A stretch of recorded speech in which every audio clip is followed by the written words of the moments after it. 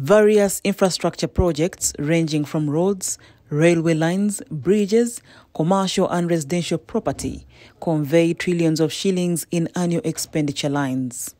Engineers have expressed concern over the quality of the infrastructure that needs to be improved in order to compete with their counterparts abroad. Industry is coming up and it's growing at a very, very high speed. The transportation, the standard gauge railway, the meter gauge railway, the road construction should look, look around the country, the need for even machines, vehicles, and so on and so forth. Buses, I think we shall be having a rapid bus uh, uh, transport system here. You are seeing the flyover in Kampala. I mean, it's expanding. The challenge that we are having now, I think we are not matching the certified professionals, the engineers, the technicians, the technologists. We are not matching them to that quantum of development. Now, that poses a very big risk. Risk number one is that most of that work will be done by people from outside the country.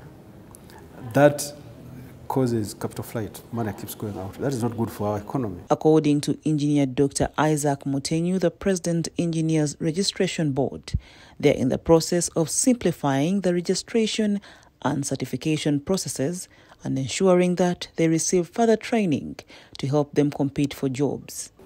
The legal framework that we are proposing is supposed to address some of that. That we have a, a means of registering this, which is quicker to have engineers registered.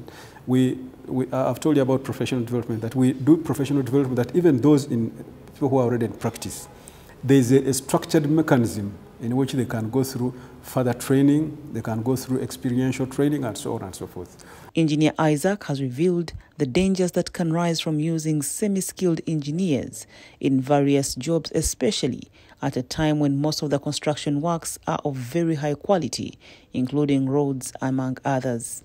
That because the numbers are very few of the certified engineers, that gap that is created creates infiltrators. You get people who are not qualified, masquerading and taking up that work. And that is very dangerous in terms of uh, the quality of work done, but also for the future, because these, these things can break down. This year's theme has been coined uh, as engineering innovation for a more resilient world.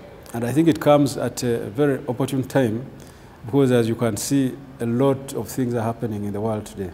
Shocks, I think you heard recently there was a, an earthquake in Turkey and Syria. In Uganda here, one, one event of rainfall causes a lot of flooding. Engineers are set to celebrate the World Engineering Day on 4th of March. Report compiled by Yismail Subuga for the news.